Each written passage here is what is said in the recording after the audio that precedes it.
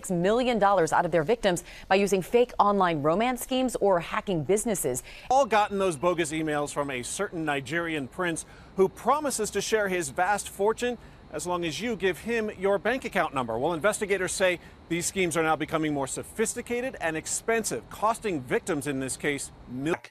a company's email system, impersonate company personnel, and direct payments to bank accounts that funnel money back to the fraudsters in Nigeria. Officials say those 14 people arrested are just the tip of the iceberg. 80 people in all were named in the were named in the indictment, but most of those are overseas in Nigeria. Half a dozen suspects, though, are still on the run here in the U.S. Amy. All right, Clayton Sandell.